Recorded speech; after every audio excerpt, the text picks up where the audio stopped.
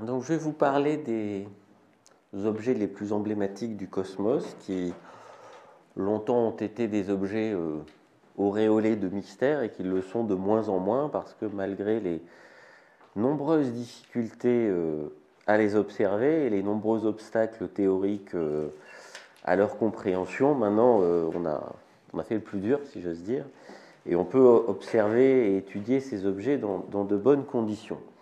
Donc ce dont je vais vous parler va être organisé de façon très simple. Petit 1, qu'est-ce qu'un trou noir? Petit 2, d'où est-ce qu'ils viennent, et petit 3, comment on les observe, et si j'ai le temps, puisqu'il paraît qu'il faut libérer la salle à 20h pile, euh, je vous expliquerai euh, la vidéo que vous avez vue en boucle euh, en arrivant, c'est-à-dire que je vous expliquerai à quoi ressemble un trou noir vu de près, si on a le temps. Alors qu'est-ce qu'un trou noir? Eh bien, le, concept de trou noir est assez, assez simple, puisqu'il a été construit dès la fin du XVIIIe siècle, donc dès la fin du XVIIIe siècle, les gens avaient compris ce qu'on appelle en, astronautique le concept de vitesse de libération. Donc la vitesse de libération, c'est la vitesse minimale que vous devez donner à votre fusée pour qu'elle échappe à l'attraction terrestre. C'est aussi la vitesse à laquelle vous allez vous cracher sur Terre si vous êtes immobile et loin de la Terre et que vous laissez tomber dessus. Donc cette vitesse de libération, alors je ne sais pas s'il y a des étudiants dans la salle, j'ai mis quelques formules pour les étudiants. Si vous êtes allergique, vous regardez pas les, vous me regardez moi, vous regardez pas les formules. Donc euh, la formule qui vous donne la vitesse de libération ne dépend que de deux quantités qui sont la masse et le rayon de l'astre considéré. Et pour la Terre, donc, on obtient cette valeur de 40 000 km par heure. Alors comment on va manipuler des vitesses qui sont importantes? On ne va pas raisonner en termes de km par heure, mais en termes de km par seconde. 40 000 km par heure, c'est à peu près 11 km par seconde. 11 km par seconde, c'est la vitesse que la fusée Artemis va devoir acquérir pour aller vers la Lune d'ici quelques semaines, si tout va bien. Ce concept de vitesse de libération, vous pouvez l'adapter à n'importe quel astre. Et donc pour le Soleil, vous pouvez calculer que alors le Soleil il est beaucoup plus gros, ce qui a tendance à diminuer la vitesse de libération, mais il est beaucoup plus massif, ce qui a tendance à l'augmenter. C'est le côté massif qui l'emporte. La vitesse de libération à la surface du Soleil, c'est 600 km par seconde.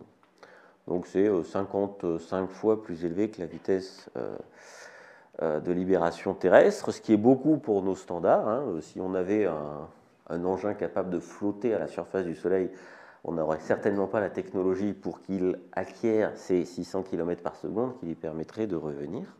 Mais ça reste petit. Petit par rapport à quoi?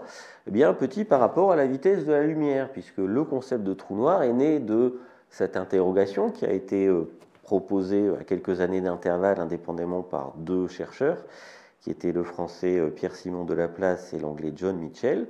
Mais imaginons un objet qui aurait une vitesse de libération égale ou supérieure à celle de la lumière. Si ça se trouve, la lumière ne peut pas s'échapper de cet objet, donc du coup cet objet, peut-être qu'on ne verra pas. Donc ils sont très prudents évidemment quand ils posent cette question. Et ils sont très prudents parce que la place euh, se dit, mais à quoi, quelles seraient les caractéristiques d'un tel objet? Par exemple, la place dit, on connaît raisonnablement bien dès cette époque la masse du Soleil, quel devrait être le rayon du Soleil pour qu'il soit tellement compact qu'il empêche la lumière de s'échapper de sa surface.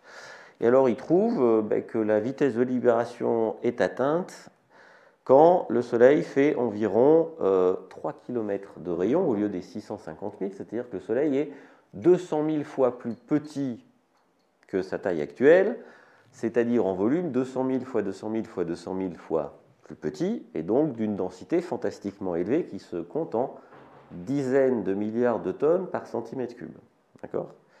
C'est-à-dire l'équivalent de 1 million de tours Eiffel que vous compactez dans un dé à coudre c'est ce taux de compression qu'il faut imposer au Soleil si vous voulez le transformer en trou noir. Donc Laplace dit, bon, le Soleil n'est pas un trou noir, et ce n'est pas évident que ces objets existent. Alors Laplace se rend compte que la situation est un peu moins extrême pour un objet beaucoup plus massif. Ce n'est pas un seuil de densité qui détermine si un objet est un trou noir. Et il s'amuse à prendre le problème un peu inverse. Il dit euh, la Terre est un objet dont on connaît la densité, c'est à peu près 4 grammes par centimètre cube quelle devrait être la taille d'un objet de la densité de la Terre pour le transformer, pour que cet objet soit un trou noir? Alors réponse, le rayon de cet objet devrait être de 170 millions de kilomètres, c'est-à-dire que le rayon de cet objet devrait être plus grand que le rayon de l'orbite terrestre autour du Soleil. Et donc évidemment volume considérablement plus grand et masse considérablement plus grande que celle de la Terre. Un tel objet aurait une masse de 57 millions de fois de celle du Soleil. Et donc cet objet est moins extrême en termes de densité, mais il est absolument démentiel en termes de masse.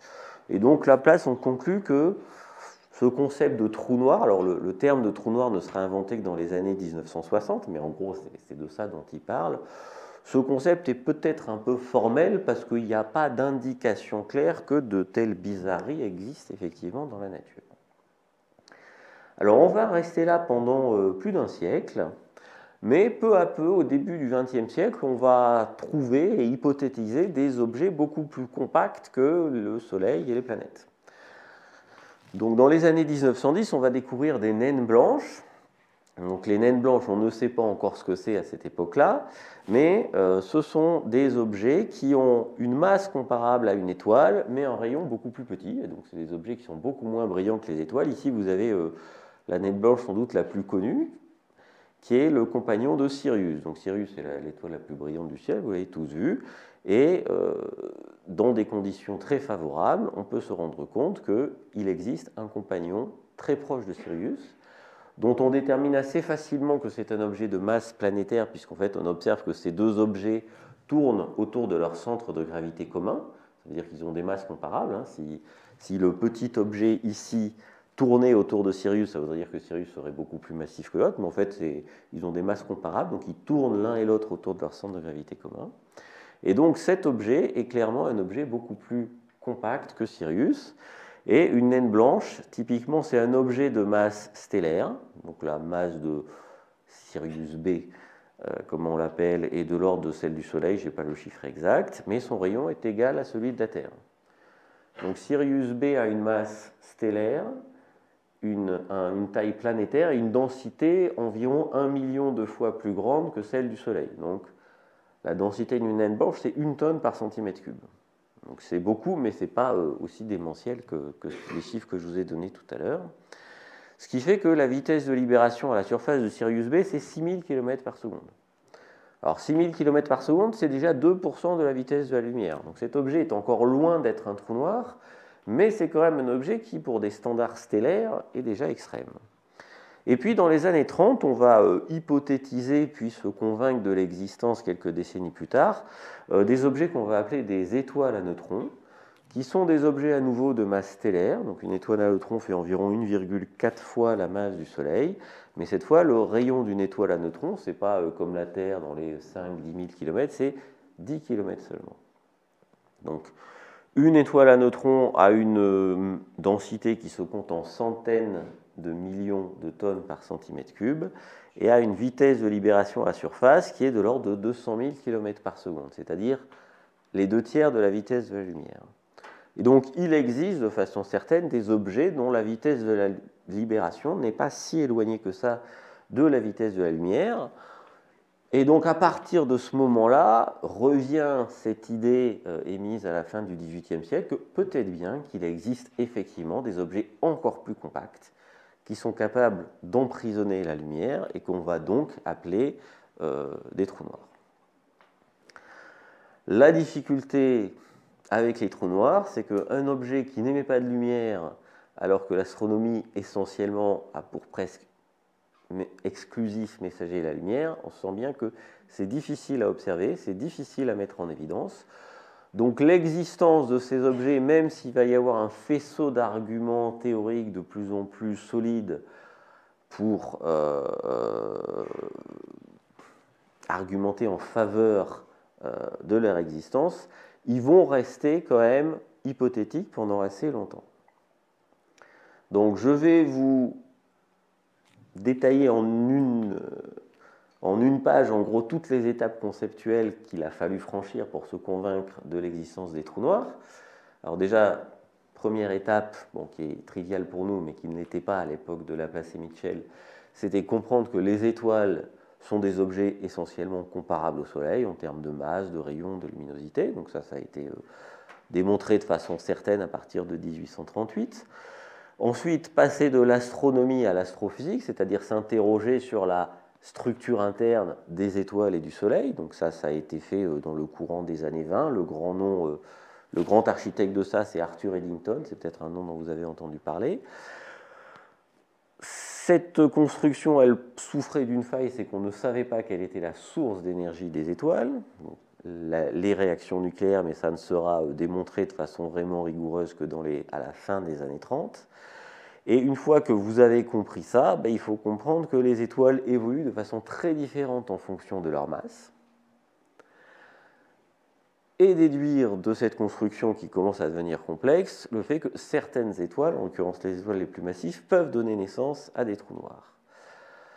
Maintenant, un des problèmes qu'on a, c'est que décrire un trou noir rigoureusement, c'est un peu compliqué, parce que quand au XVIIIe siècle, euh, Laplace et Mitchell envisagent le trou noir, ils imaginent sans le dire que la lumière est composée de petits corpuscules qui ont une masse inconnue et qui sont soumis aux lois de la gravitation au même titre qu'un caillou. Sauf qu'on ben, sait que euh, la lumière, ce n'est pas des objets euh, matériels, ce n'est pas des objets massifs. Donc le simple fait de savoir comment la lumière interagit réellement avec un champ de gravité, ce qui est quand même la question essentielle pour parler des trous noirs, euh, ça, on ne le sait que à partir de 1915, puisque c'est les travaux d'Albert Einstein sur ce qu'on appelle la relativité générale qui vont permettre de décrire ces objets. Mais ces équations et l'application de ces équations pour décrire effectivement les trous noirs, ça va prendre quand même 50 euh, bonnes années. Donc ce n'est que dans les années 65 que les gens maîtrisent, si vous voulez, suffisamment bien les lois de la gravitation y compris dans les situations les plus extrêmes, qui peuvent commencer à décrire les trous noirs. Et donc vous mélangez l'évolution des étoiles, les lois qui décrivent les trous noirs, il vous manque un dernier ingrédient, ce sont les observations, prouver que ces objets existent réellement. Et ça, ça a été compliqué.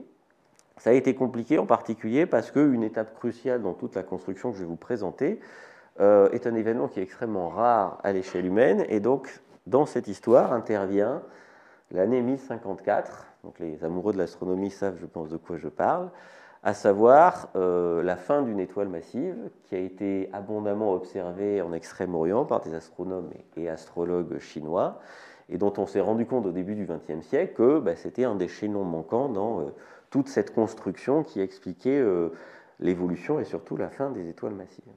Donc évidemment, je n'ai pas le temps de vous parler de tout ça, donc je vais vous donner les résultats plutôt que euh, toute cette histoire-là qui, euh, en elle-même, mériterait euh, une, conférence en entier. Donc, pour parler maintenant en termes de population d'objets, ben, il y a deux, deux, grands types de trous noirs dans l'univers. Il y a les petits et les gros, c'est très simple. Donc les petits, on ne les appelle pas les petits, on les appelle les trous noirs stellaires, essentiellement parce que, comme leur nom l'indique, ils ont des masses comparables à celles des étoiles et ils ont une origine dans les étoiles, puisque ce sont des cadavres stellaires, si vous voulez, des cadavres de certaines étoiles en fin de vie. Alors le nombre de ces objets est très mal connu, puisque la plupart des trous noirs sont d'une très grande discrétion. Ce ne sont que dans des circonstances extrêmement favorables que l'on peut identifier un trou noir. Et euh, on estime qu'on a un trou noir pour 1000 étoiles dans notre galaxie. Euh, ce qui est à la fois peu et beaucoup, parce que 1 sur 1000 c'est peu, mais comme vous avez des centaines de milliards d'étoiles dans notre galaxie, il y a euh, sans doute des centaines de millions de trous noirs. Des trous noirs effectivement identifiés, il y en a 30. Donc 30 sur 100 millions, vous voyez que ce n'est pas tous les jours qu'on arrive à en identifier, euh, ce qui est une des principales difficultés de l'étude de ces objets. Donc on a du mal à les observer, mais on comprend bien leur mode de formation. Et donc en termes de masse, on est entre 3 et 5 masses solaires pour les trous noirs les moins massifs et quelques dizaines de fois pour les plus massifs connus. Et puis, en plus de cette grosse population de petits trous noirs, vous avez la petite population des gros trous noirs, donc c'est ce qu'on appelle les trous noirs supermassifs. Supermassifs, c'est-à-dire très massifs et donc très gros. Et ces trous noirs sont extrêmement rares puisqu'on en compte essentiellement qu'un seul par galaxie. Des fois, on en observe deux dans certaines galaxies, mais c'est en général des galaxies qui portent la trace d'une fusion de deux galaxies précédentes. Donc les deux, trous, noirs des deux galaxies n'ont pas encore eux-mêmes fusionné, quand bien même les galaxies ont fusionné. Donc ces objets sont beaucoup plus faciles à étudier parce que un trou noir, plus il est gros, plus il va euh, influencer son environnement sur une zone importante et donc plus il va trahir sa présence facilement. Euh, mais ils sont aussi très mystérieux parce que pour le coup, ces trous noirs étant extrêmement massifs, leur masse se compte en millions, voire en milliards de fois la masse du Soleil, on se doute bien que c'est une population complètement différente de la population précédente.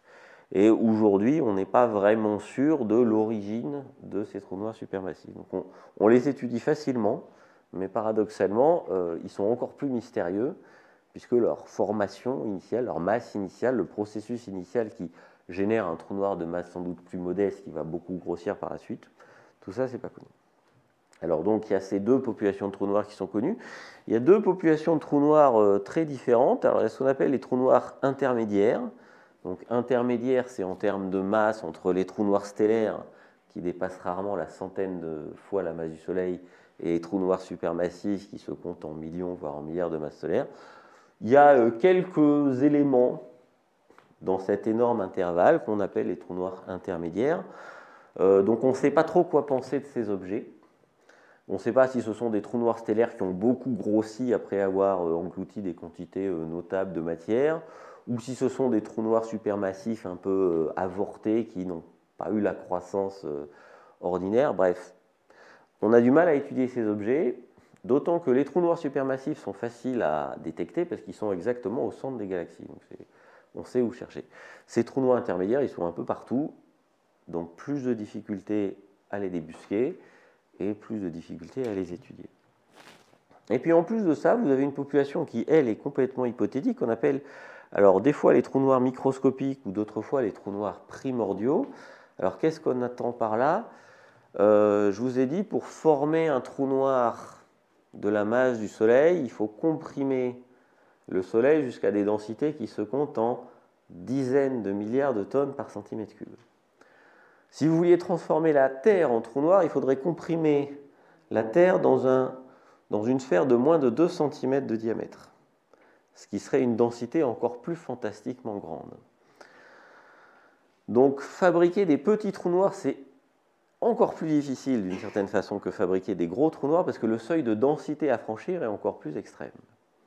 Mais il y a une époque dans l'histoire de l'univers où des densités presque arbitrairement grandes ont été atteintes, c'était pendant le Big Bang. Donc les gens ont émis l'idée que si la matière dans l'univers très primordial était distribuée de façon euh, assez inhomogène, peut-être qu'il y a quelques grumeaux qui auraient pu euh, directement se transformer en trou noir euh, avant qu'on ne passe par la case je forme une étoile qui en fin vie va former un trou noir. D'où l'idée de ces trous noirs primordiaux qui peuvent être éventuellement extrêmement petits, puisque les plus petits trous noirs primordiaux envisageables ont la taille d'un atome et un trou noir primordial qui euh, traverserait la Terre ne ferait aucun dégât d'ailleurs, soyez rassurés. Et donc les trous noirs primordiaux, euh, étant extrêmement petits, sont extrêmement discrets. Voilà. Je, pense que personne ne serait décoiffé si un trou noir primordial traversait euh, cette salle à 30 km par seconde, parce que le hasard ferait qu'il intercepterait la trajectoire de la Terre. Il ne se passerait rigoureusement rien. Donc ces objets, on ne sait pas s'ils existent. Euh, mais on adorerait qu'ils existent, parce que s'ils existent, ça nous renseigne sur des processus qui se sont produits à la seule époque où ils sont susceptibles de s'être formés, c'est-à-dire pendant le Big Bang. Donc les gens, je dirais, ne croient pas trop à l'existence de ces trous noirs primordiaux, mais ils adoreraient perdre ce pari, parce que ça nous offre... la détection de ces objets-là nous ouvrirait une fenêtre, si vous voulez, sur euh, des processus qui se sont produits très très très très il y a très très longtemps. Alors je vais vous parler des trous noirs, des seuls trous noirs dont on comprend bien le mode de formation, ce sont les trous noirs stellaires. Et donc comme je vous ai dit, les trous noirs stellaires sont issus de l'évolution des étoiles. Alors euh, de façon très schématique, une étoile c'est un objet qui est très simple. C'est euh, une sorte d'état stationnaire euh, qui se produit dans une phase de contraction sous l'effet de la gravité. Une étoile au départ c'est un nuage de gaz qui est très étendu. Hein. Euh, la densité de moyenne de matière dans notre galaxie, si vous voulez, je vais dire autrement, la distance moyenne entre deux étoiles, c'est plusieurs années-lumière. Donc finalement, une étoile, c'est un objet qui a ramassé toute la matière qu'il y avait dans un rayon de quelques années-lumière. Donc au départ, une étoile, c'est un nuage de gaz extrêmement diffus, qui, s'il n'est pas trop chaud et qui, s'il est un peu plus dense que l'environnement, va, sous l'effet de son propre champ de gravité, se contracter. En se comprimant, ce gaz s'échauffe, hein, c'est le principe, vous pouvez vérifier avec une pompe à vélo, quand vous détendez un gaz, ça se refroidit, quand vous comprimez un gaz, ça s'échauffe. Et si la température centrale de ce gaz lors de cette contraction dépasse un certain seuil, vous pouvez amorcer des réactions nucléaires qui vont produire de l'énergie, de la chaleur et de la pression, et ce surplus de pression va s'opposer à cette tendance à l'effondrement. Donc l'objet va cesser de se contracter tant que les réactions nucléaires durent à l'intérieur. Il peut y avoir un ou plusieurs cycles de réactions nucléaires, mais au bout d'un moment, on va être à court de combustible nucléaire, et donc quand l'étoile va terminer sa vie d'étoile, c'est-à-dire qu'il n'y aura plus de réaction nucléaire, bah, ça va se comprimer encore plus. De façon euh, systématique, un cadavre stellaire est toujours plus petit que l'étoile, puisqu'il n'y a plus cette source de pression due aux réactions nucléaires qui donnait à l'étoile sa taille d'étoile. Donc les cadavres stellaires sont plus compacts que les étoiles, et dans certains cas, ça va donner un trou noir. Alors pourquoi? Alors c'est euh, pas si simple que ça, mais en gros, vous avez, euh, plusieurs types d'évolution possibles des étoiles en fonction de leur masse. Donc si vous avez un objet euh, de très faible masse, moins de, moins de 7% de la masse du Soleil, en fait cet objet ne va jamais être une étoile, c'est-à-dire que lors de sa contraction, il ne va jamais atteindre le seuil en température suffisant pour former des, euh, pour amorcer des réactions nucléaires. Donc cet objet va se refroidir, va se comprimer, et à mesure qu'il se refroidit, qu'il évacue la chaleur issu de cette phase de contraction, il va se transformer en un objet qu'on appelle une naine brune. C'est un objet en gros de la taille de Jupiter, qui a une masse qui peut être quelques dizaines de fois Jupiter, mais ça n'a rien de spectaculaire. Une étoile de plus faible masse, donc ça s'appelle une naine rouge dans la, nomenclature des, astronomes, va amorcer des réactions nucléaires, mais uniquement la première phase des réactions nucléaires. Le, premier type de réaction nucléaire que vous avez dans une étoile, c'est ce qui se passe dans le Soleil, c'est la, plus longue période de vie des étoiles, c'est l'hydrogène qui est majoritaire dans l'étoile qui se transforme en hélium.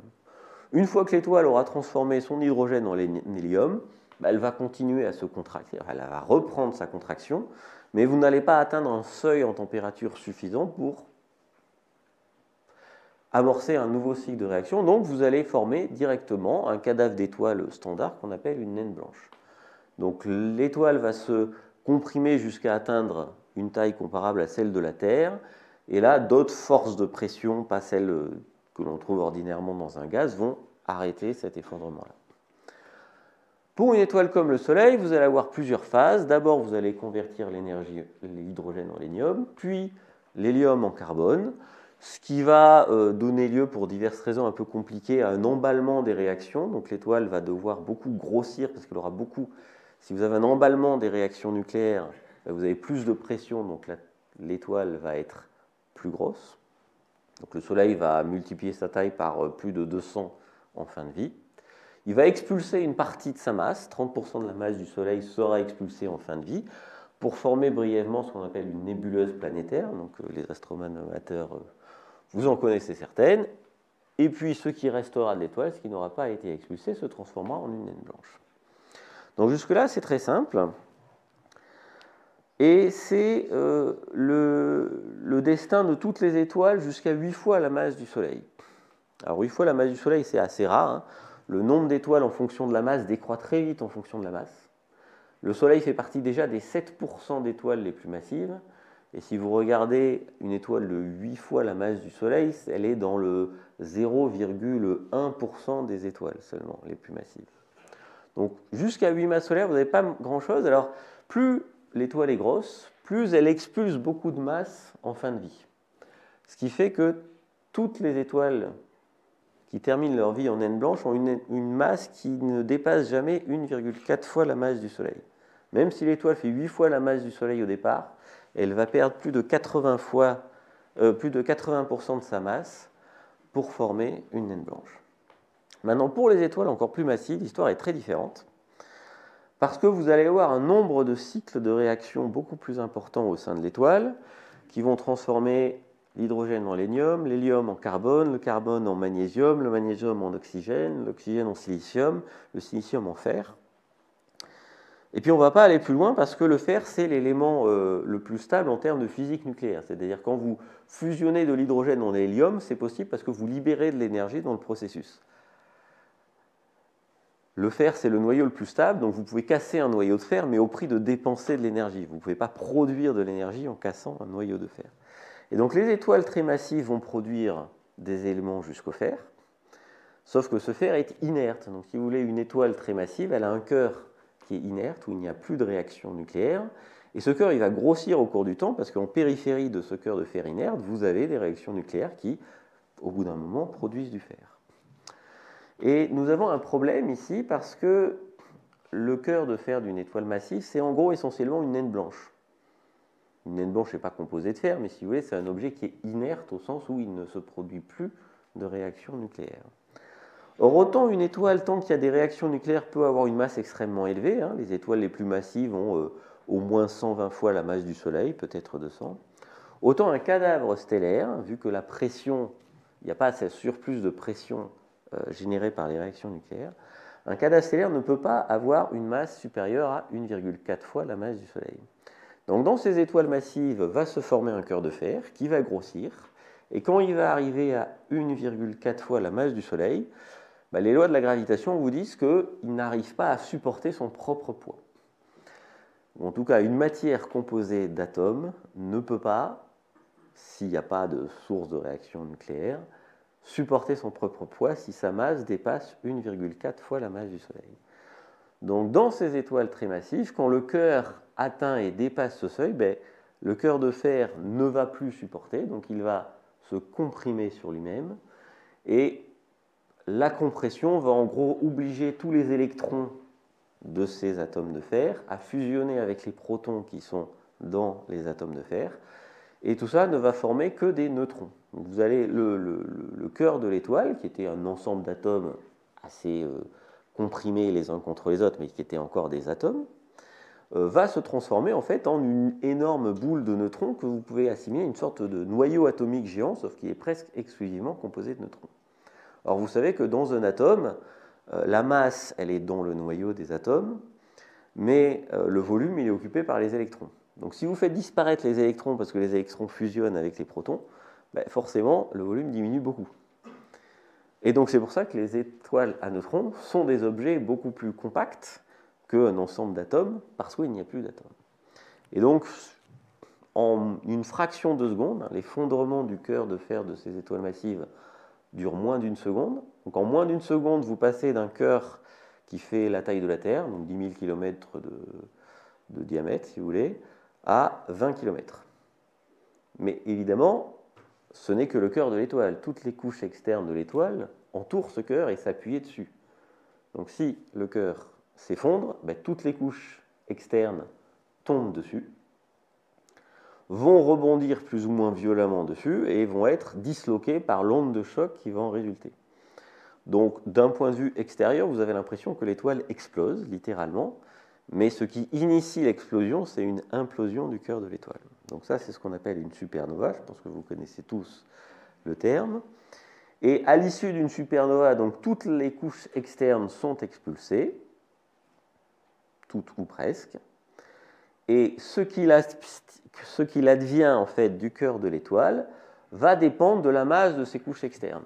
S'il n'y a pas trop de masse autour du cœur de l'étoile, ben, les couches externes vont tomber dessus, vont rebondir et vont être expulsées. Mais s'il y a vraiment beaucoup de masse, ben, une partie de cette masse va comprimer le cœur encore plus. Et l'étoile à neutrons, qui, vous savez, elle n'est pas beaucoup plus grosse qu'un trou noir de masse équivalente. Hein. Une étoile à neutrons, c'est un rayon de 10 km, alors que le rayon d'un trou noir de cette masse-là, c'est 4 ou 5 km. Donc si vous comprimez ce truc d'un facteur 2, ben, vous le transformez en trou noir. Donc les étoiles les plus massives, suggèrent les calculs, vont probablement se transformer en trou noir pourvu que elles soient suffisamment massives pour former du fer et que ce qui reste des couches externes de l'étoile soit suffisamment massif pour appuyer encore plus sur le cœur de fer une fois qu'il s'est effondré. Donc deux issues possibles essentiellement dans la vie des étoiles, soit une nébuleuse planétaire, soit une supernova. Et euh, ces deux objets euh, ont une durée de vie ou une durée d'observabilité assez courte. Hein. Une nébuleuse planétaire, ça n'est observable qu'au moment où l'étoile expulse sa masse, mais c'est le moment où elle s'éteint. Donc euh, c'est le moment où elle brille encore un peu alors qu'elle est en train d'expulser sa masse, mais que la masse n'est pas trop loin pour être encore éclairée par la source de lumière qui est de plus en plus ténue. Et puis pour les étoiles qui explosent en supernova, ben, la vitesse d'éjection de la matière est tellement importante qu'en quelques dizaines de milliers d'années, ce truc se dissipe complètement dans le milieu interstellaire.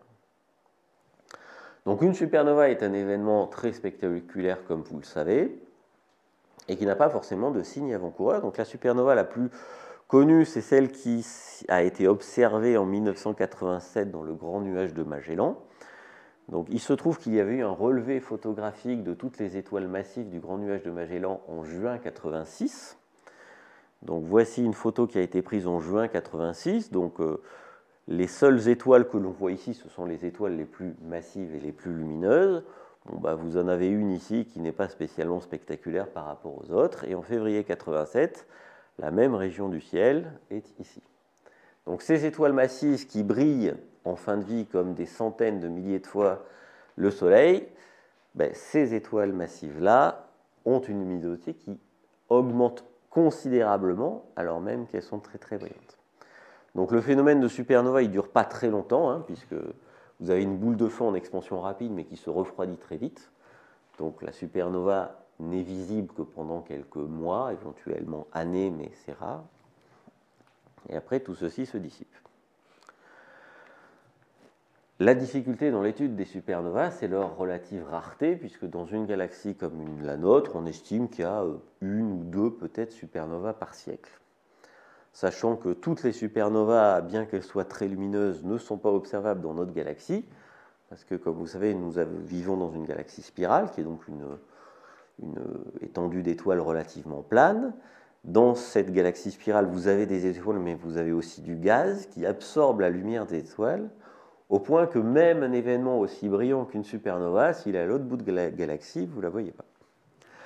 Donc depuis que les astronomes racontent ce qu'ils observent, c'est-à-dire depuis un peu plus de 2000 ans, il n'y a que 8 supernovas avérées qui ont effectivement été observées en l'an 185, 386, 393, 1006, 1054, 1181, 1572 et 1604. La dernière supernova dans notre galaxie date d'avant l'invention de la lunette astronomique et évidemment tous les astronomes amateurs et professionnels espèrent que la prochaine est pour bientôt.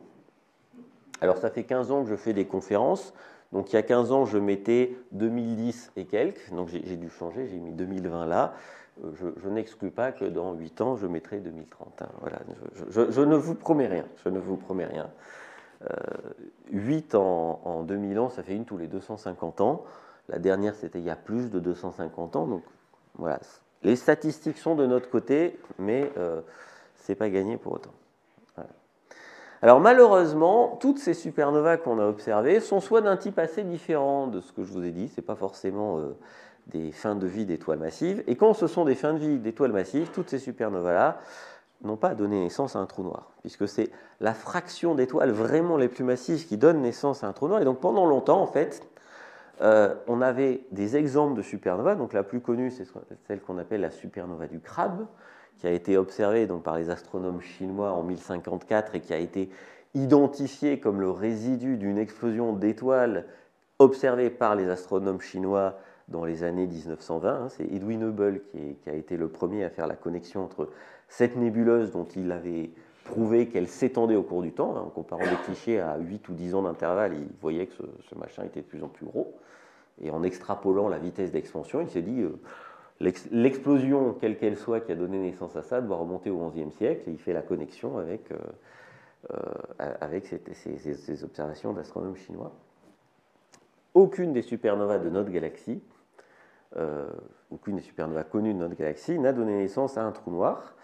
Mais on a fini par en trouver quand même des supernovas qui donnaient naissance à des trous noirs. Alors il y en a une qui n'est pas très spectaculaire, qui est une supernova qui a eu en 1979 dans une galaxie que vous avez peut-être observée, qui s'appelle M100. Donc aujourd'hui, on peut observer l'endroit où a eu lieu euh, cette supernova, et ce que l'on observe n'est pas compatible avec une étoile à neutrons qui interagirait avec euh, la matière qui n'est pas encore expulsée trop loin. Donc on est à peu près certain que cette supernova-là a donné naissance à un trou noir, mais on a beaucoup mieux.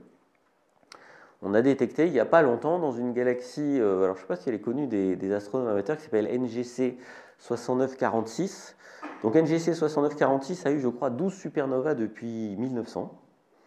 Donc en gros, une tous les 10 ans, dont 4 euh, au XXIe siècle. Ce qui veut dire statistiquement que si vous observez ce soir cette galaxie, vous avez une chance sur 1500 de voir une nouvelle supernova. Vous avez en moyenne une supernova tous les 1500 jours. Donc cette galaxie fait l'objet de relevés euh, détaillés parce que comme on est sûr qu'il y aura des supernovas dans pas longtemps, parce que cette galaxie euh, a vu la formation de nombreuses étoiles massives il n'y a pas très longtemps, et les étoiles massives ne vivent pas longtemps. Donc il y a, des relevés pour euh, recenser toutes les étoiles massives de cette galaxie, c'est-à-dire toutes les étoiles que l'on voit individuellement, parce qu'elle est quand même pas la porte à côté. Et on a constaté, en comparant des clichés, alors je crois que c'est 2007 et 2011, ou 2015, bah, qu'il manque un truc. D'accord? Et, alors, ça, c'est particulièrement spectaculaire parce qu'il y a une étoile qui a disparu, mais il n'y a même pas eu de supernova dans l'intervalle. C'est-à-dire que, je vous ai dit, une supernova, c'est le cœur de l'étoile qui s'effondre, la matière qui tombe sur le cœur effondré et qui rebondit, d'où la supernova. Mais en fait, si l'étoile est très massive, quand le cœur s'effondre et la matière tombe dessus, ça peut directement former un trou noir qui engloutit toute l'étoile d'un coup, si vous voulez. Et donc là, c'est exactement ce qui a dû se passer, parce qu'il est absolument impossible qu'on ait loupé une supernova dans cette galaxie-là. Et clairement, l'étoile a disparu au sens propre. Et donc, elle s'est fait euh, engloutir par le trou noir qui s'est formé au centre. Et donc là, c'est une preuve relativement indiscutable que euh, vous avez droit à un trou noir. Mais jusqu'à cette époque-là, l'existence des trous noirs était un peu indirecte. Alors comment, avant euh, ces deux événements, on s'est convaincu que les trous noirs existaient? Ben, Essentiellement en détectant de façon indirecte, non pas la naissance du trou noir, comme je vous le montre là, mais l'influence du trou noir formé sur son environnement. Et comment on le fait? Alors pour les trous noirs stellaires, c'est compliqué parce que la zone d'influence d'un trou noir stellaire, c'est pas grand-chose. Par bonheur, à peu près la moitié des étoiles vivent en couple. Donc vous avez des couples d'étoiles parfois massives. Les étoiles massives vivent d'autant moins longtemps qu'elles sont massives. Donc si vous avez un, couple de deux étoiles, si la plus massive des deux évolue en trou noir, ça va se transformer en un couple étoile normale, entre guillemets, plus trou noir. Et si ces deux objets sont suffisamment rapprochés l'un de l'autre, eh ben, vous pouvez avoir cette situation-là où le trou noir va, euh, en quelque sorte, vampiriser son étoile compagne. Donc vous n'avez pas besoin d'avoir un trou noir pour ça. Deux étoiles qui sont en orbite suffisamment proches l'une de l'autre peuvent échanger de la masse au cours de leur évolution au gré de la variation de leur taille qui est dictée par euh, les processus qui se passent. Et donc quand vous avez un couple étoile plus trou noir, si le trou noir est suffisamment proche, vous pouvez obtenir cette situation-là où en gros euh, euh, la matière du, côté de l'étoile qui est vers le trou noir va être aspirer, alors très très lentement, hein, vous inquiétez pas, c'est pas, euh, c'est pas brutal du tout. Et donc si on avait la résolution suffisante avec nos télescopes, ça ressemblerait à ça. Évidemment, on ne voit pas ça, il n'y a quasiment aucune étoile dont on arrive à distinguer le disque avec les télescopes. Une des rares, c'est Betelgeuse, dont je vous parle parce que je crois que la prochaine conférence sera sur Betelgeuse. Mais sinon, on ne voit pas ça. Donc, quand on regarde un système comme ça, en fait, on ne voit que un pixel. Enfin, tout ça est, concentré sur un pixel, mais comme évidemment euh, l'étoile et le trou noir tournent autour de leur centre de gravité commun, tout ça tourne donc est vu sous un angle différent au cours de l'orbite. Et donc ces sources-là sont des sources qui sont variables. Et euh, vous avez de la lumière qui est émise par la surface de l'étoile, donc essentiellement de la lumière visible, mais la matière qui est aspirée par le trou noir s'échauffe de plus en plus à mesure qu'elle tombe sur le trou noir, et donc ça émet des rayons X. Donc ces systèmes-là, quand vous avez une étoile qui varie périodiquement en éclat, associée à une source de rayons X qui varie aussi en éclat, vous êtes à peu près sûr que c'est un couple étoile plus cadavre stellaire qui vampirise l'étoile. Et en étudiant la dynamique du couple, c'est-à-dire la vitesse orbitale de ce système, la période, etc., vous pouvez vous convaincre que cet objet est suffisamment massif pour ne pas être un autre cadavre stellaire qu'un trou noir. Donc essentiellement, à partir des années 70, on a détecté des objets de ce type dont on s'est convaincu que c'était des trous noirs. Le plus connu, c'est Sinus X1. Donc les gens qui comprenaient bien les choses dès les débuts des années 70, ils avaient compris que Sinus X1 était un trou noir. Pendant longtemps, une partie de la communauté était un peu prudente et, euh, avec le recul, je dirais, inutilement prudente. Donc on ne parlait pas de Sinus X1 comme étant un trou noir, mais étant un candidat trou noir, un candidat au statut de trou noir. Mais peu à peu, s'est imposé le fait euh, dans, la communauté scientifique que oui, les trous noirs existaient, même si c'est des objets bizarres, même si c'est des objets extrêmes. On avait un faisceau d'indications qui disait leur existence. En fait, pour les plus réfractaires, la preuve de l'existence des trous noirs est venue des trous noirs supermassifs, parce que ces trous noirs étant plus massifs, ils ont une zone d'influence plus grande et il est plus facile de déterminer leurs propriétés. Donc je vais vous montrer euh, quelque chose d'assez... Voilà, la preuve la plus visuelle de l'existence des trous noirs, elle remonte à la fin des années 90. Donc ici, on est en train de regarder vers le centre exact de notre galaxie. Alors quand vous regardez ça avec un vrai télescope, euh, c'est saturé d'étoiles, c'est extrêmement moche.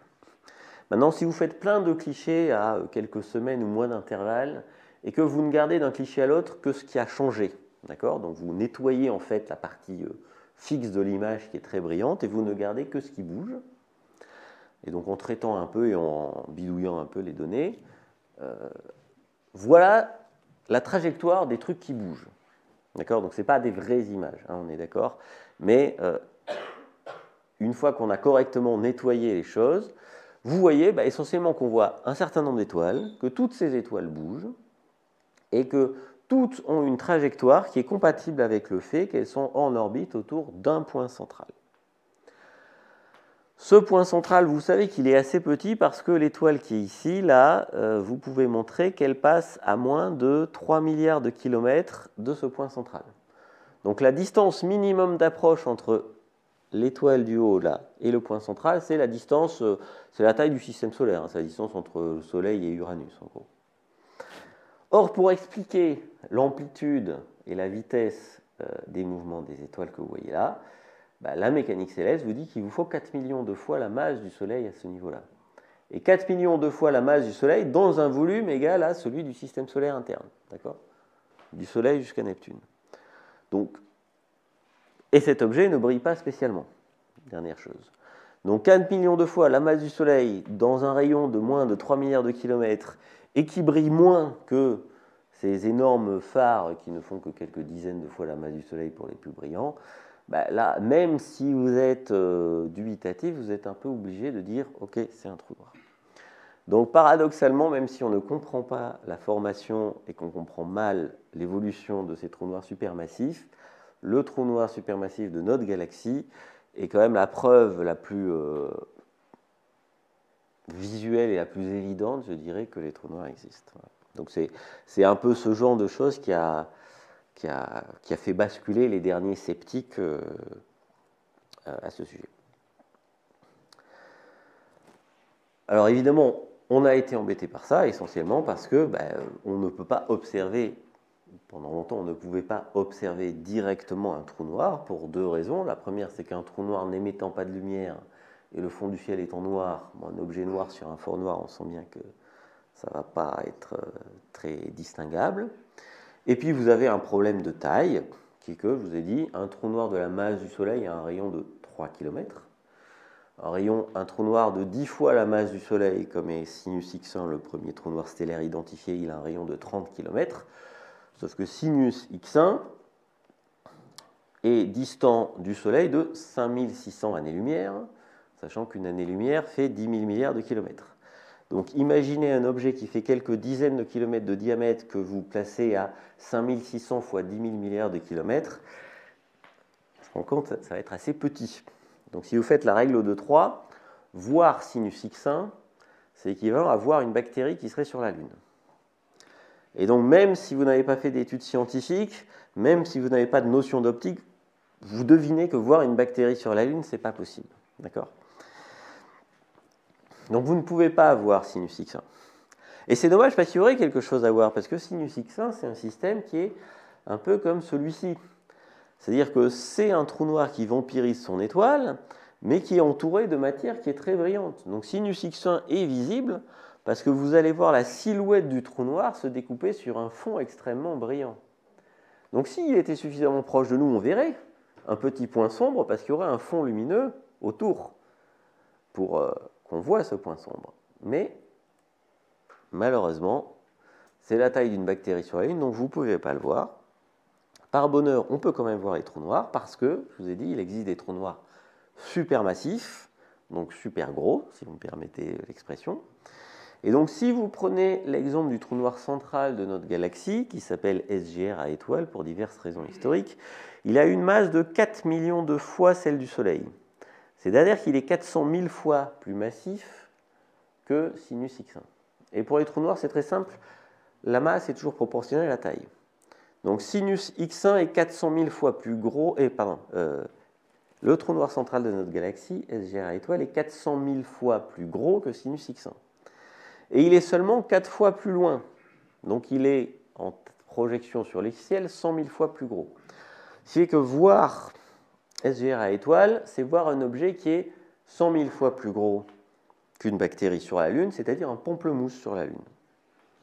Les gens qui ont fait ça, ils ont, décidé que l'échelle 10 cm, ça serait un pamplemousse. Donc vous avez entendu parler d'un pamplemousse sur la Lune. Donc voir un pamplemousse sur la Lune, c'est quand même difficile. Hein. Vous n'avez jamais vu euh, de photos des pas de Neil Armstrong sur la Lune pris depuis la Terre. Hein. Mais c'est déjà moins déraisonnable d'essayer. Alors, malheureusement, c'est très difficile, et c'est très difficile pour une raison que tous les astronomes amateurs connaissent, à savoir que ça ne sert à rien de beaucoup grossir une image astronomique, parce qu'une image est toujours un peu floue, et donc quand vous grossissez une image floue, bah, c'est encore plus flou. Et alors pourquoi une image est floue? Alors on est évidemment gêné par l'atmosphère terrestre, mais on est gêné par un principe encore plus fondamental d'optique, qui est que quand vous avez la lumière qui passe à travers une ouverture, qui peut être le tube de votre télescope ou simplement le miroir sur lequel elle va se réfléchir, eh bien, euh, l'image qui va se former va être dégradée par le fait que le système optique a une taille finie. Et plus le système optique est petit, plus la dégradation va être importante. Et ça, on peut l'observer dans la vie de tous les jours. Quand il fait nuit et que vous observez les lumières de la ville à travers un rideau très fin, vous savez tous que la lumière quasi ponctuelle du lampadaire, ça fait une belle croix à travers votre rideau. D'accord? Quand vous voyez les beaux clichés du JWST, les étoiles, ce n'est pas des points, c'est des étoiles à 6-8 branches en fonction de la forme du miroir, etc. Mais dès que vous avez une image qui passe à travers un système optique, vous avez une dégradation de la qualité de l'image. Et donc, quand vous savez par avance que vous voulez voir un pamplemousse sur la Lune, vous pouvez calculer quelle doit être la taille minimum de votre télescope pour voir le pamplemousse sur la Lune. Et la réponse est 2 km. Voilà, donc c'est pas la peine de pointer le télescope spatial Hubble vers le centre de notre galaxie parce qu'il a un miroir de 2 mètres. Il a un miroir qui est mille fois trop petit, donc il, voit des détails mille fois trop grossiers pour être capable d'imaginer ce truc. Donc ça ne marche pas. Et ça ne marchera jamais puisqu'on ne fera jamais de miroir de 2 km de diamètre. Hein, Mais on peut quand même franchir cette barrière en utilisant une technique qui est assez compliquée qu'on appelle l'interférométrie qui, euh, à défaut d'utiliser un unique miroir de taille gigantesque, va utiliser un réseau de télescopes et va combiner de façon extrêmement astucieuse la lumière reçue par tous ces télescopes. Et on peut montrer que si on fait les choses bien, alors si on fait les choses bien, la qualité d'image que vous pouvez obtenir ne va pas être déterminée par la taille de vos télescopes, mais par la taille de votre réseau de télescopes. Donc si vous avez un réseau de télescopes étendu sur plusieurs kilomètres, vous avez en principe la possibilité d'avoir une qualité d'image suffisante pour voir le trou noir central de notre galaxie. Malheureusement, ça ne marche pas. Parce que cette technique d'interférométrie, pour des raisons techniques, on ne sait la mettre en œuvre que sur des distances de quelques dizaines de mètres. Donc mettons en étant très optimiste 200 mètres, il nous manque un facteur 10 en qualité d'image pour voir le pamplemousse sur la Lune. Par bonheur, cette technique d'interférométrie peut être utilisée avec des télescopes optiques, mais elle peut être aussi utilisée avec des radiotélescopes. Et elle reste plus facile à utiliser. C'est difficile, mais c'est plus facile. Le problème, c'est que quand vous faites des observations en radio, les images sont de moins bonne qualité. Donc pour compenser la moins bonne qualité d'image des radiotélescopes, vous devez avoir un réseau qui est beaucoup plus gros, et en l'occurrence un réseau dont la taille est de 10 000 km. Ce qui tombe bien, puisque le diamètre de la Terre est de 12 000 et quelques kilomètres. Donc l'idée pour imager notre pamplemousse sur la Lune, c'est d'imager un radio pamplemousse sur la Lune, avec un réseau de télescopes qui vont être répartis sur toute la surface de la Terre, puisque ça va du pôle sud au désert chilien, aux îles Hawaï, Mexique, euh, côte ouest des États-Unis et euh, la France avec euh, l'interféromètre du plateau de Bure, plus un certain nombre d'antennes qui sont en conclusion, puisque plus on a d'antennes, mieux c'est. Mais c'est le prix à payer pour pouvoir imager le radio Pamplemousse sur la Lune et donc le trou noir central de notre galaxie. Et donc après beaucoup d'efforts, on a réussi à voir ça. Donc la partie intéressante, en fait, c'est ce qui est en haut de l'écran, c'est ça. Dans les années 80, à la fin des années 90, les gens ont commencé à euh, réfléchir à ce projet. Quand la masse et la distance du trou noir central de notre galaxie a été bien établie, les gens se sont dit, bah, euh, si on veut voir ce truc, c'est comme voir un pamplemousse sur la Lune. Donc ils ont commencé à simuler ce à quoi pouvait ressembler ce pamplemousse sur la Lune, c'est-à-dire le trou noir point sombre entouré de son disque de matière qui est brillant très près du trou noir et qui est de moins en moins brillant. Donc ça, c'est l'image idéale, un peu simplifiée, mais c'est ce que l'on verrait si on était prêt. Et ils se sont amusés à dégrader cette image idéale en envisageant un réseau de radiotélescopes plus ou moins étendu, avec plus ou moins euh, des instruments plus ou moins sophistiqués. Et donc, dans les années 90, ils ont dit, voilà, en fonction du réseau qu'on utilise, ça pourrait ressembler à ça. Donc quand le réseau n'est pas assez grand, oui, le donut se transforme en, Big Mac, hein, on est d'accord. Donc quand l'image est toujours un peu bruitée, hein, il y, a, du bruit parce qu'il n'y a pas assez de radiotélescopes, mais dans certains cas, on arrive quand même à se convaincre qu'on voit un anneau lumineux avec un point sombre au centre. Et donc à l'époque, les gens euh, savaient que la technologie ne permettait pas d'obtenir ça. Hein. Il y a des problèmes informatiques assez compliqués pour faire cette image. Mais ils disaient, avec les progrès à venir de l'informatique, ça sera dans la poche. Peut-être dans 15 ans, peut-être dans 20 ans, peut-être dans 30 ans, mais ça devrait finir par euh, marcher. Et donc, en 2019, c'est-à-dire 20 euh, ans après ces prédictions, on a vu la première image d'un trou noir. Alors, ce n'est pas le trou noir central de notre galaxie, mais le seul autre trou noir que l'on peut imager, puisque euh, vous savez peut-être que nous vivons dans une galaxie assez banale, mais que nous ne sommes pas très loin d'une galaxie gigantesque qui s'appelle M87. Donc là encore, les astronomes amateurs euh, connaissent cette galaxie. Cette galaxie est beaucoup plus massive que notre propre galaxie. Et son trou noir central est beaucoup plus massif puisque sa masse n'est pas de 4 millions de fois la masse du Soleil, mais plutôt 6 milliards. Or, la distance qui nous sépare de cette galaxie, c'est à peu près 2000 fois la distance qui sépare la Terre du centre de notre galaxie. Donc vous perdez un facteur 2000 parce que l'objet que vous étudiez est 2000 fois plus loin, mais il se trouve que l'objet est 1500 fois plus gros. Donc les deux se compensent presque exactement. Et donc c'est cet objet-là qui a été imagé en premier parce qu'il est un poil plus petit, mais il est aussi plus facile à imager. Et donc, euh, voilà, un des grands moments dans l'histoire de l'astronomie, quand même, l'objet le plus euh, discret du cosmos qu'on a réussi à, à, imager. Et preuve quand même que les trous noirs fascinent les gens, cette image a fait la une de la presse du monde entier. Et je pense que si vous êtes là, c'est que vous aimez la science. Vous avez remarqué que c'est quand même rare qu'une actualité scientifique fasse la une de la presse. Or, cette image-là a fait la une de la presse vraiment, littéralement, du monde entier. Le seul autre événement ce mois-ci qui avait eu autant de retentissement, c'était l'incendie de Notre-Dame. Ce qui est la preuve que on ferait mieux de parler plus souvent de science, c'est une actualité quand même plus positive. Alors, on a, avec beaucoup d'efforts, réussi à proposer une image, mais qui n'en est pas vraiment une, du trou noir central de notre galaxie. Donc, c'est à peu près la même chose, mais c'est assez logique. Ces trous noirs sont entourés d'un disque de matière. Il se trouve que ces trous noirs, vous les voyez sous un angle à peu près en incidence normale. Hein. Le hasard fait que les deux fois, on voit le disque par le dessus. Donc, on, voit à peu près la même chose ici. Ce qui prouve que malgré l'énorme différence de taille et de masse de ces objets, bah, on devine que les processus physiques ne sont pas très différents.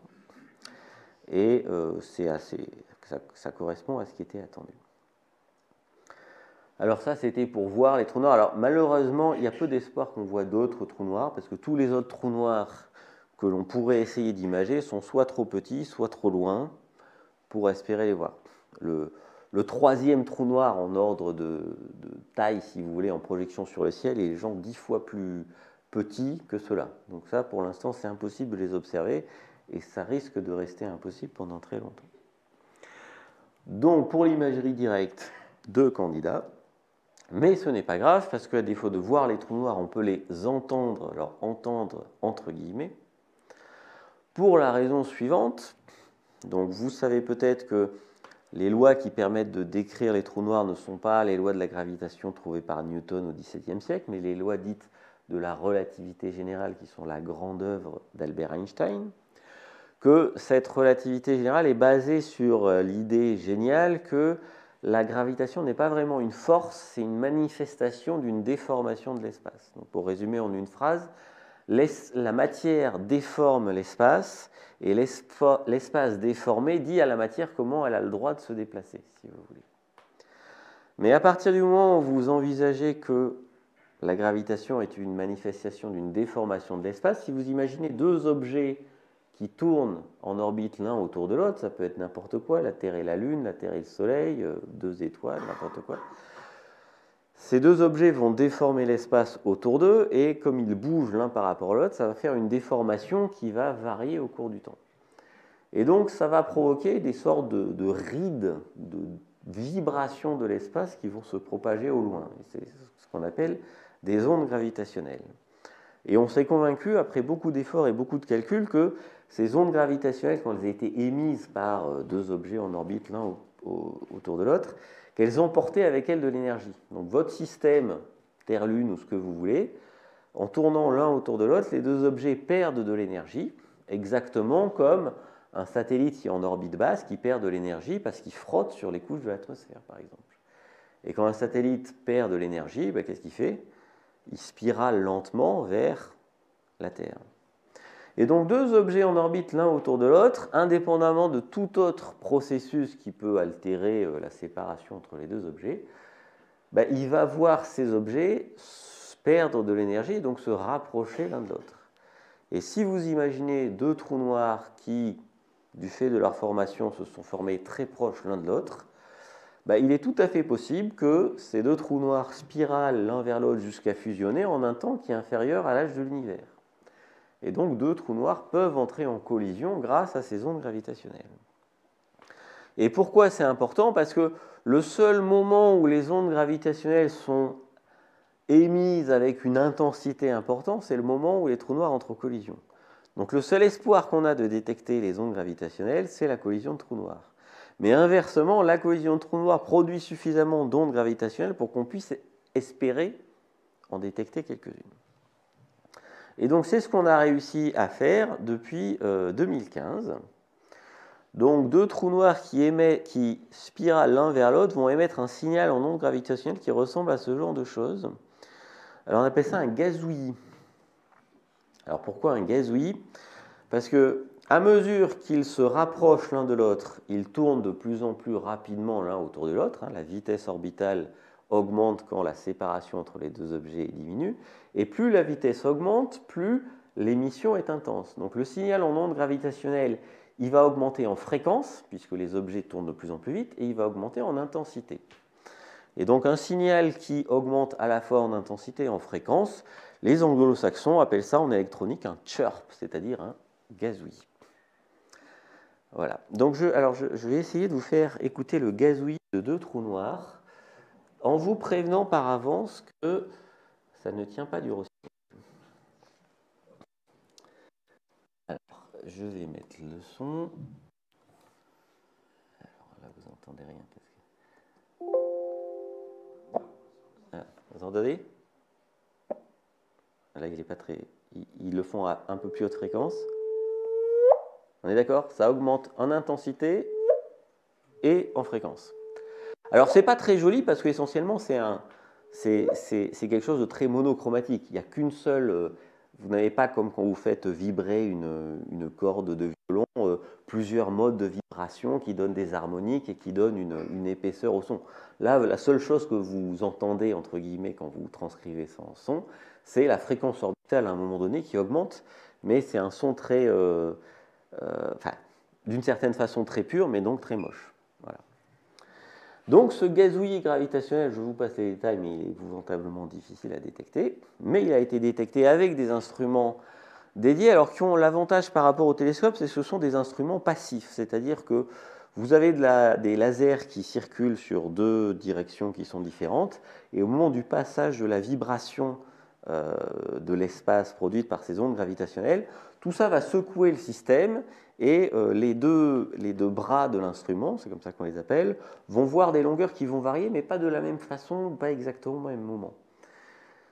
Et ça, c'est vrai, quelle que soit en gros la direction empruntée par l'onde au moment où elle passe dans le détecteur. Donc ces objets sont des objets passifs, c'est pour ça qu'on dit qu'on entend les ondes gravitationnelles. Vous voyez, pour voir, il faut pointer dans une direction, alors que pour entendre, euh, s'il y a un son, euh, vous allez l'entendre où que le son se produise par rapport à, par rapport à vous. Donc on sait détecter ces choses-là et on sait bien le faire. Donc ici, je vous montre la situation telle qu'elle était fin 2016. Donc la première détection de fusion de trous noirs, c'est fin 2015, c'est août 2015, pardon. Et dans l'année 2016, on en a découvert euh, quatre autres. Donc en tout, ça en faisait cinq. On a découvert, en un an, un peu plus d'un an, on a observé cinq fusions de trous noirs. Donc les fusions de trous noirs, c'est les, points bleus que vous avez là. Alors une fusion de trous noirs, vous détectez trois trous noirs en même temps, puisque vous détectez les deux trous noirs avant fusion et vous détectez le trou noir final. Donc vous avez cinq groupes de trois ici, ce qui était relativement peu par rapport aux quelques dizaines de trous noirs que l'on connaissait dans notre galaxie par des méthodes de détection classiques, style euh, sinus X1. Donc ce qui, était un exploit en 2016 est en fait devenu banal six ans plus tard, puisque les points bleus, c'est la situation, euh, je crois, début ou mi-2021. Alors pourquoi euh, la situation a beaucoup évolué? Ben, Tout simplement parce que une fois que vous avez un instrument qui est suffisamment sensible pour détecter euh, une fusion tous les trois mois en moyenne, ben, si vous attendez 10 ans, vous allez en détecter 40 en tout. Mais vous allez améliorer vos instruments au cours du temps. Et donc plus vos instruments sont améliorés, plus ils peuvent détecter ces événements quand ils sont à grande distance, et plus vous entendez, si j'ose dire, dans un volume qui est grand. Et donc le taux d'événements augmente à mesure que vous améliorez vos instruments. Et à ce jeu-là, par exemple, si vous améliorez la sensibilité de vos instruments d'un facteur 10, ça signifie pour les ondes gravitationnelles que vous pouvez les détecter à une distance 10 fois plus grande, donc dans un volume 1000 fois plus grand, et donc à un taux mille fois plus élevé. Donc on passe brutalement, avec cette amélioration, de un événement par siècle à 1000 événements par siècle, c'est-à-dire un événement par mois. Donc ce qui était, impossible jusqu'en 2015 est devenu extraordinaire en 2015 et presque devenu banal euh, en 2022. C'est un effet de seuil, mais vous avez ça pour les exoplanètes. Hein. Les exoplanètes, on fantasmait sur les exoplanètes quasiment depuis l'Antiquité. On en a découvert une en 1995 et 27 euh, ans plus tard, on en connaît 5000. Euh, Donc c'est exactement ça qu'on voit. Donc on sait plein de choses sur les trous noirs. Alors si j'ai un peu de temps maintenant, je vais vous euh, parler de bah, qu'est-ce qu'on verrait si on était près des trous noirs. Parce que c'est un peu pour ça que je me suis fait euh, connaître auprès du grand public. Donc je vais répondre à la question, mais euh, si on était à côté d'un trou noir, qu'est-ce qu'on verrait? Alors avant de vous montrer ça, je vais faire une petite, tout petite aparté sur euh, qu'est-ce qu'on voit quand on va vite. Alors pourquoi c'est important? C'est important parce que si vous êtes au voisinage d'un trou noir, il y a peu de chances que vous restiez immobile. trou noir a un très fort champ de gravité, donc même si vous êtes immobile à un moment, vous allez vite être mis en mouvement. Donc il faut comprendre ce qui se passe quand vous êtes en mouvement. Donc avant de vous montrer le trou noir, je vais vous montrer ce qui se passe quand vous accélérez. pardon. Voilà, je suis là. Voilà, donc là vous avez le ciel qu'en principe vous connaissez. Vous avez Sirius, Orion, le taureau, les Pléiades, et je vais me diriger vers le centre de l'écran qui est ici. Alors je vais passer de 0 à 99,5% de la vitesse de la lumière en 3 minutes. Ce qu'il ne faut pas faire parce que l'accélération est tellement monstrueuse que ça va vous tuer. Hein. Si, vous si, vous voulez atteindre cette vitesse-là, il ne faut pas compter le temps d'accélération en minutes, mais en années, sinon vous êtes mort. Et donc voilà ce qui se passe quand j'accélère. Alors intuitivement, on a envie de dire, bah, si je me déplace comme ça, je vais voir le décor défiler, donc les étoiles qui sont vers le centre vont se barrer vers l'extérieur. Mais ce n'est pas du tout ça que vous voyez quand vous allez vite. Parce que ce que vous allez voir, c'est un phénomène qu'on appelle l'aberration de la lumière. Alors l'aberration de la lumière, ça ne vous dit rien, mais en fait, ce que vous connaissez tous, c'est l'aberration de la pluie. Donc imaginez que vous êtes en voiture, il n'y a pas de vent, il pleut, vous êtes à l'arrêt, donc la pluie tombe à la verticale. Donc la pluie tombe à la à la perpendiculaire de ici, par exemple. Maintenant, vous vous mettez à avancer en voiture. Et donc, quand vous avancez en voiture, ce que vous allez voir, ce n'est pas la vitesse de la pluie par rapport au sol, qui était verticale, mais la vitesse de la pluie par rapport à la voiture, qui est la combinaison de ce mouvement vertical-là, plus l'opposé du mouvement de la voiture. Donc, plus vous accélérez, plus vous avez l'impression que la pluie tombe de façon inclinée par rapport à vous. Et que la direction de provenance de la pluie, ce n'est pas le nuage au-dessus de vous, mais que c'est un nuage qui est devant vous. Donc si vous transposez ça à la lumière, plus vous accélérez, plus en fait votre champ de vision va se resserrer vers l'avant. Et c'est ça que vous voyez là. En plus de ça, évidemment, ben, comme vous vous dirigez vers une source de lumière, vous recevez un flux de lumière de plus en plus important. Hein. C'est comme quand vous êtes dans une rivière et que vous remontez à la rivière, le courant par rapport à vous augmente. Donc là, votre flux de lumière augmente, donc ça devient de plus en plus lumineux. Et puis vous avez un autre effet, mais qui n'est pas si spectaculaire que ça ici, c'est ce qu'on appelle l'effet Doppler, c'est le fait que, ben, on le connaît pour le son, quand l'ambulance s'approche de vous, la sirène est plus aiguë que quand elle s'éloigne de vous, et donc ça marche aussi pour la lumière, la couleur de la lumière change, mais comme la lumière émise par les étoiles, c'est un ensemble de lumière, l'effet n'est pas très spectaculaire. gardez en tête que quand vous accélérez, vous voyez un ciel qui est très brillant dans la direction où vous allez, très sombre dans la direction opposée, et que globalement, vous ne savez plus où vous êtes. Hein, d'accord? Là, on a un peu de mal à voir ce qui se passe. Alors vous vous souvenez, on avait Orion ici au départ. Orion est plus ou moins à l'opposé sur la voûte céleste euh, du scorpion, puisque le scorpion, c'est la bestiole envoyée par Artémis pour châtier Orion qui avait surpris Artémis euh, euh, en train de se baigner. Donc, en principe, si vous voyez Orion, vous ne voyez pas en même temps le scorpion, vous voyez l'un ou l'autre. Bon, ben, sauf que l'étoile rouge qui est là, vous n'êtes pas obligé de me croire, mais c'est Antares du Scorpion, alors que Orion est maintenant ici. Donc les deux étoiles qui initialement étaient à deux directions opposées, avec ce phénomène d'aberration, sont au même endroit. Donc c'est assez compliqué de se repérer quand on va vite, parce que tout le ciel est ramassé dans une zone très petite, dans laquelle vous avez un contraste extrêmement défavorable. Donc voilà ce qui se passe quand euh, vous déplacez vite. Maintenant, ce qui m'intéresse, c'est ce qui quand je me déplace au voisinage d'un trou noir. Donc je vais déjà vous montrer la version quand on est loin du trou noir. Alors un trou noir, je vous ai dit, il emprisonne la lumière, mais il va aussi défléchir la trajectoire de la lumière qui passe dans son voisinage. Ce qui fait que si vous mettez un trou noir devant votre sphère céleste, que vous connaissez, donc là on est toujours dans la même région, hein, Orion, le taureau, et là on a les Pléiades. Sauf que les Pléiades, vous ne les reconnaissez pas parce que j'ai mis un trou noir devant. Et donc les Pléiades se retrouvent éclatées en deux morceaux. Vous avez une image des Pléiades ici et une autre ici. Et quand je m'amuse à faire passer mon trou noir devant, ça ressemble à rien du tout. Et vous voyez, en fait, il y a un effet assez rigolo, c'est que le trou noir n'occulte pas les Pléiades, au contraire, il va, il va pousser les Pléiades un peu sur le bord. Donc autant si vous avez la Lune qui passe devant les Pléiades, ben, ça peut occulter les Pléiades. Enfin, je ne crois pas que la Lune puisse occulter les Pléiades, elle n'est pas mais vous comprenez l'idée. Autant quand vous avez un trou noir, en fait, le fait qu'il dévie la lumière fait qu'il va pousser le décor sur les côtés, donc vous n'allez pas reconnaître, mais il ne va jamais cacher les choses. Maintenant, si vous êtes un peu proche du trou noir, donc en orbite autour du trou noir, ben, ça va ressembler à ceci. Voilà, donc je suis en orbite autour du trou noir, je me déplace vers votre droite et je regarde sur ma gauche, c'est-à-dire je regarde vers l'intérieur de la trajectoire. Donc j'ai le fond étoilé, et puis comme je me déplace par rapport à ce fond étoilé, je vois le fond étoilé transiter devant.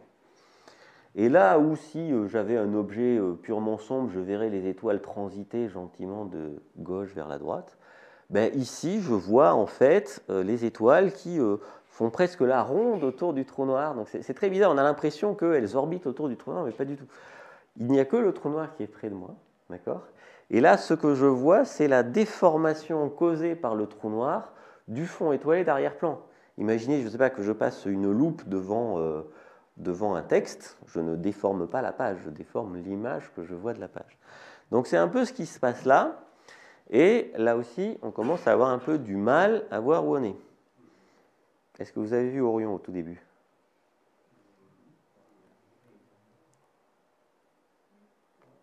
Ça Ça ressemble pas à l'Orion qu'on voit, vous voyez, elle est un peu, un peu comprimée comme ça. Mais c'est Orion. Là, vous avez le taureau. Et là, vous avez les Pléiades.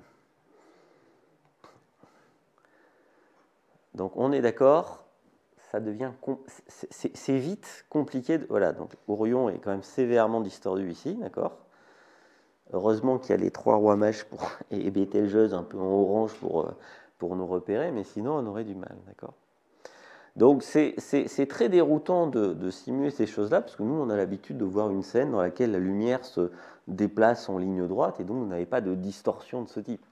On est presque décontenancé qu'on a une faible distorsion avec un mirage ou quelque chose comme ça. Mais là, quand vous déformez toute la sphère céleste de façon assez violente, évidemment, euh, vous avez beaucoup plus de mal à vous reconnaître.